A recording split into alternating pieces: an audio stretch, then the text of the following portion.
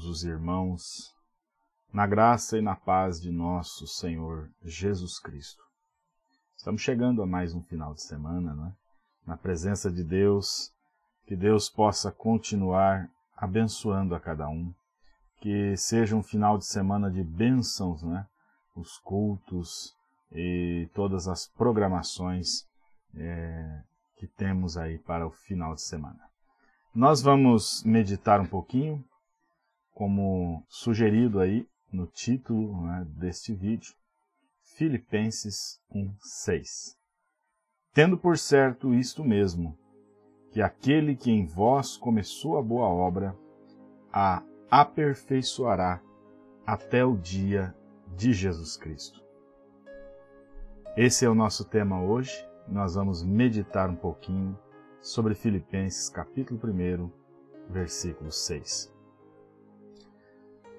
Deus tem um compromisso de continuidade com aquilo que ele começou. Quando nós lemos essa escritura, é claro, na mente da grande maioria né, dos irmãos que acompanham, é, você já se recorda como que nós lemos isso e ficamos presos a essa escritura por décadas e lendo sobre um aperfeiçoamento, sobre um aperfeiçoamento. É, ele tem compromisso de aperfeiçoar aquilo que ele começou. Mas quando o aperfeiçoamento veio, nós notamos que apenas uma pequena minoria se permitiu ou permitiu Deus aperfeiçoar. A maioria preferiu ficar em suas tradições. Agora, irmãos, como muitas coisas que nós aprendemos errado, esta também tem sido uma escritura talvez não deturpada, mas com um entendimento um pouco desviado do assunto principal. Porque quando nós olhamos a boa obra, ela não diz respeito a um grupo em particular. Ela não está se referindo a uma igreja em particular, a um companheirismo numa determinada cidade. Não. Mas aquele que em vós começou a boa obra refere-se a uma obra individual. A preposição usada nesta frase, aquele que em vós, a preposição em, aqui empregada, ela refere-se a uma obra interior dentro de cada um de nós. Não tem nada a ver com grupo, companheirismo, placa de igreja, com determinada igreja específica ou determinado ministério de determinado homem. Mas é uma obra que Deus começou em, em mim, em você, ou seja, dentro de mim, dentro de você. Quando a gente entendendo o conceito e desmistificando esse conceito, é, olhando para o conceito como ele realmente é. Então a gente pode avançar um pouquinho mais na, no entendimento e, e estudo sobre esse assunto. Primeiro ponto que precisamos entender: cristianismo deve estar baseado na fé. Hebreus capítulo 11, versículo 1 nos diz que a fé é o firme fundamento das coisas que se esperam e é a prova das coisas que não se veem. Quando nós vamos um pouquinho saltar ali para 1 Coríntios, primeira carta de Paulo aos Coríntios, capítulo 10, versículo 11, Paulo vai dizer: Ora, tudo isso lhe sobreveio como figuras. Estão escritas para aviso nosso, para quem já são chegados os fins, os fins dos séculos. Quando nós olhamos para o Antigo Testamento, é isso que Paulo está dizendo, é, tudo que está escrito, tudo que aconteceu ali foi para nosso aviso. Foi para nos precaver, para que nós estivéssemos prontos para enfrentar lutas talvez não iguais, mas é, de cunho espiritual, de fundo espiritual muito semelhantes. E quando nós olhamos para o povo de Deus lá no Antigo Testamento, a gente começa a ver como é que ele reagiu, como é que as pessoas reagiram a determinadas é, crises né, que, que, que enfrentaram, determinadas dificuldades, problemas que eles enfrentaram. Nós percebemos que o povo de Deus, principalmente falando de Israel, quando saiu do Egito, eu quero focar um pouco é, hoje neste, nesse trecho de Êxodo 14, 15 e 16. Se você é, tem um papel e caneta, anote. Êxodo capítulos 14, 15 e 16 é a sugestão de leitura é, para hoje, do seu devocional. Uma sugestão para o seu devocional pessoal. Esse devocional é uma programação que você é, é, que vai te instigar para que durante o dia você tenha mais tempo na presença de Deus. Então sugiro aí a leitura dos capítulos 14, 15 e 16 do livro de Êxodo. Quando eles, você, ao ler, você vai entender melhor né, o contexto que nós vamos explicar bem é, é superficialmente é, por conta do nosso tempo. A gente não, não deseja ser um, um, um programa muito, muito extenso. Né? É, nós vamos perceber então que Israel cometeu alguns erros que foram repetidos, reincidentes. Era uma situação cíclica.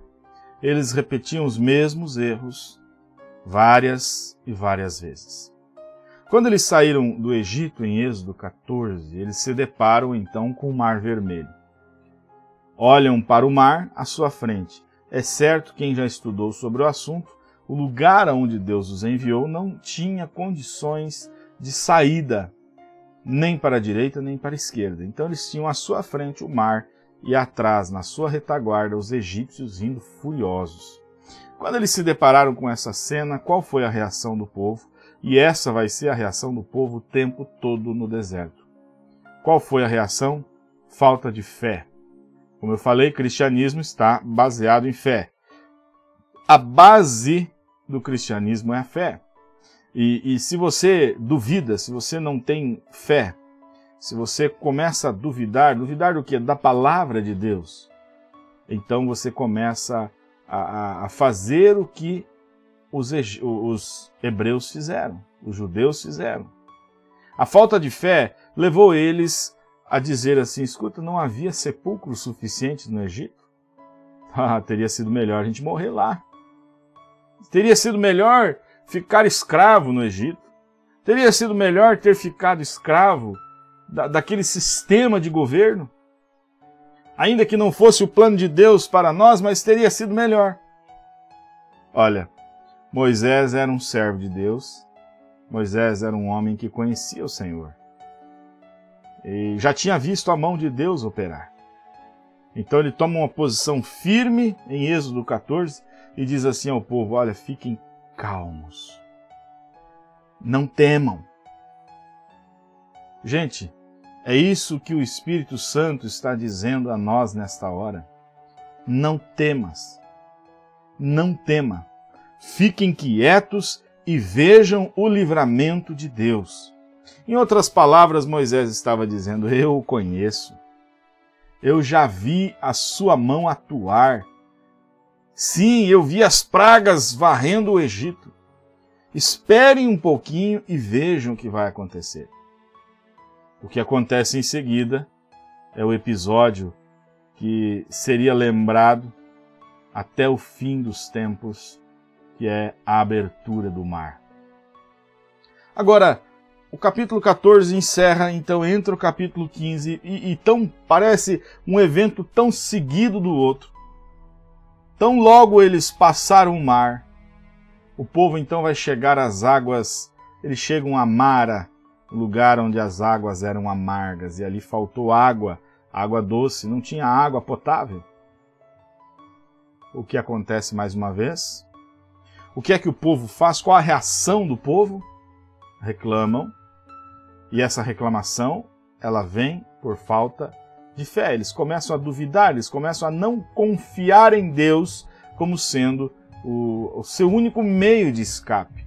Eu sei que muitos têm é, passado por esse, essa mesma situação. Muitos têm duvidado de Deus no momento da crise.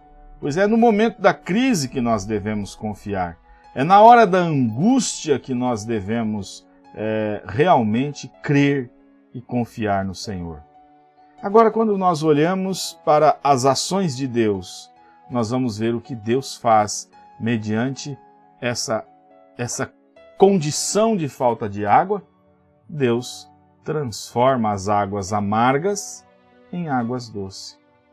Muitos de nós, muitas vezes, têm faltado fé na hora da crise, na hora da angústia, na hora da amargura.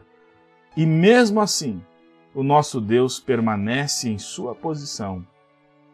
E ele, para nos mostrar que ele é Deus, não que ele tenha que provar algo para nós, mas para mostrar a você que ele continua na, na posição dele, ele é o mesmo ontem, hoje e eternamente. Ele transforma a amargura em alegria, ele transforma aquela água amarga em água doce. Agora, irmãos, em Êxodo 16, nós vemos que passou esse episódio da água amarga, da água doce, das águas amargas transformadas em água doce. Nós vamos chegar a Êxodo 16. Êxodo 16, nós vimos que faltou alimento as pessoas começaram a murmurar por falta de, de alimento, que tinham saudade do alimento do Egito.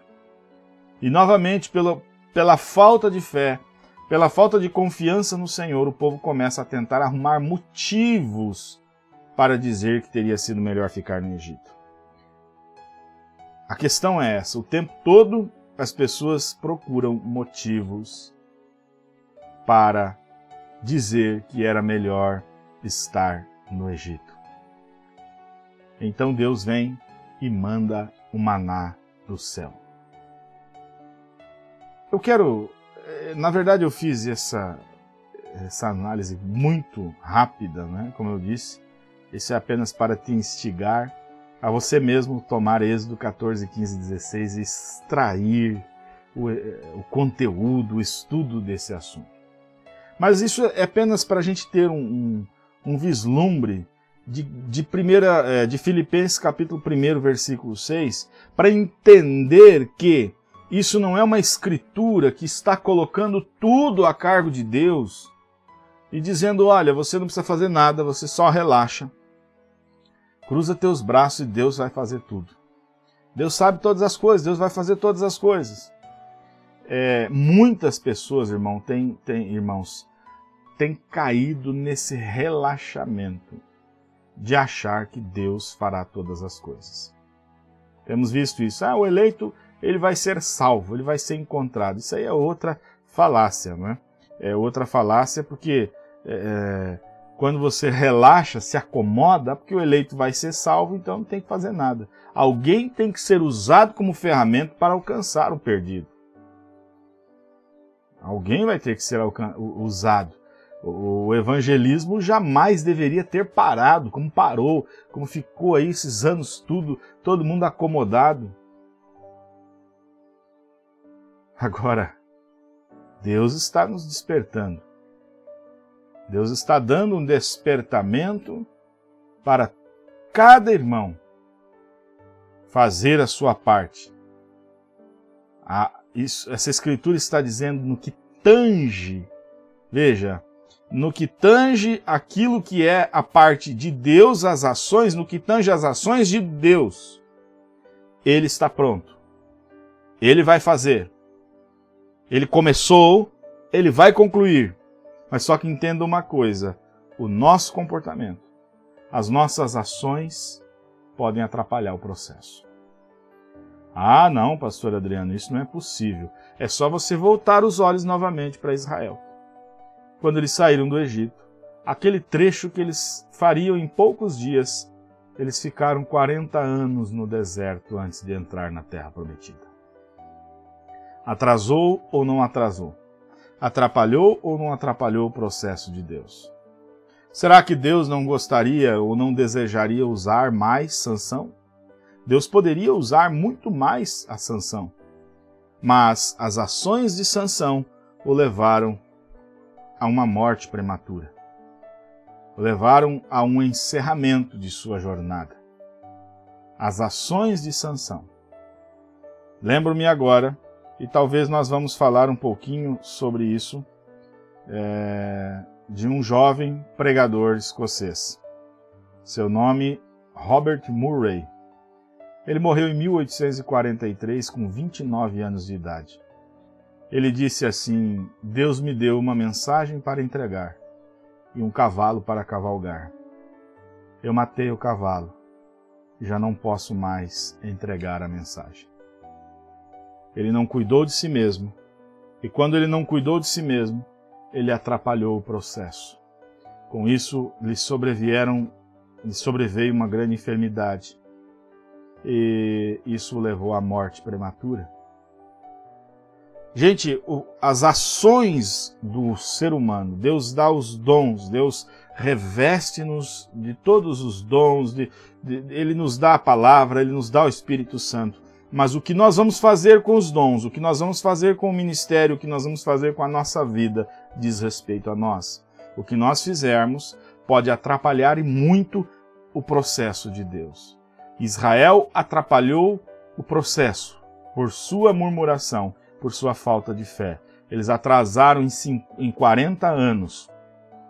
Um exemplo que nós temos muito vivo ainda em, em nossas memórias, porque algo tão real está sendo ainda para nós. A interpretação errada das Escrituras em nosso meio fez com que houvesse um atraso de mais de 50 anos no avanço espiritual do nosso país. Mais de 50 anos atrasados interpretando a escritura errada, é, isolando a escritura, ficando preso a uma única escritura e não permitindo o povo de crescer na graça e no conhecimento de nosso Senhor Jesus Cristo. A nossa incredulidade pode nos prejudicar muito. Por isso, irmãos, você que está analisando, estudando, Lembra da escritura de Hebreus 15: Se ouvirdes a sua voz, não endureçais o vosso coração como na provocação. Amoleça o seu coração. Ah, eu não quero nem saber disso. Queira saber. Investigue. Quebra esse coração duro.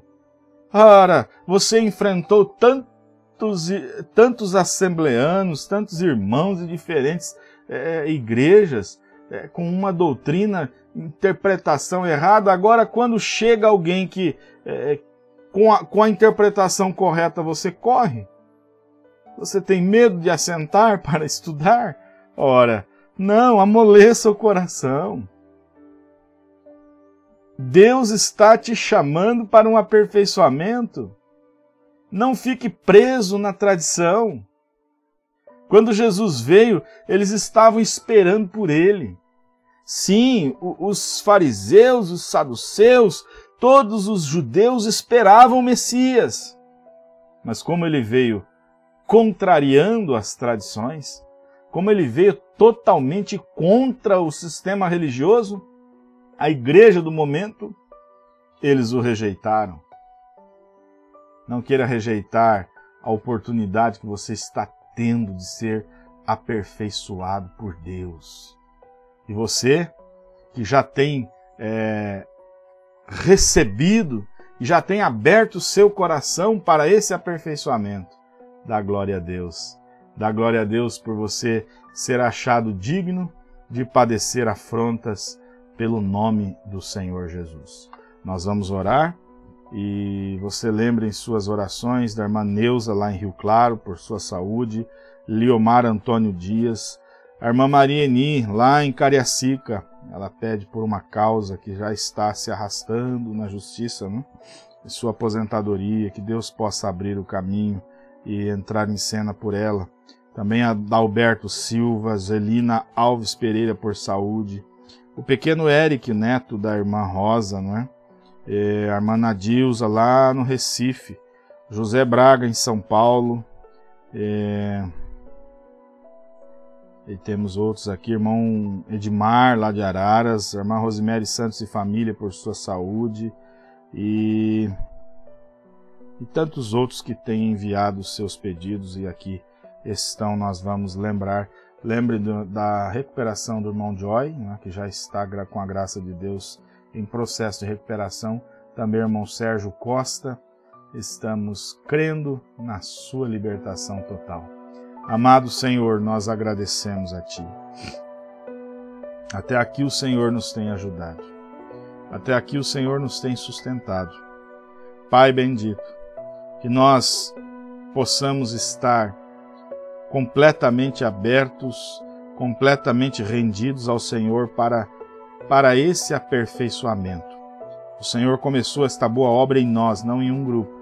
E o Senhor está nos aperfeiçoando e nós queremos permitir o Senhor nos aperfeiçoar. Tira de nós, Senhor, qualquer coisa que ainda esteja atrapalhando, mostra a nós, revela a nós a Sua perfeita vontade e que nós possamos nos libertar de qualquer coisa que esteja atrapalhando o Senhor de agir por completo em nossas vidas.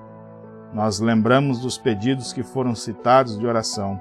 Cada enfermo, possa a tua mão curadora ser estendida em favor de cada um dos seus filhos. Cura o enfermo, liberta o oprimido, Pai, no precioso nome do Senhor Jesus Cristo. Amém. Amém. Que o Senhor vos abençoe e vos guarde, que o Senhor faça resplandecer o seu rosto sobre vós. Que ele guarde a vossa entrada e a vossa saída desde agora e para sempre. Que ele vos guarde e vos dê a paz. Deus vos abençoe em nome do Senhor Jesus Cristo.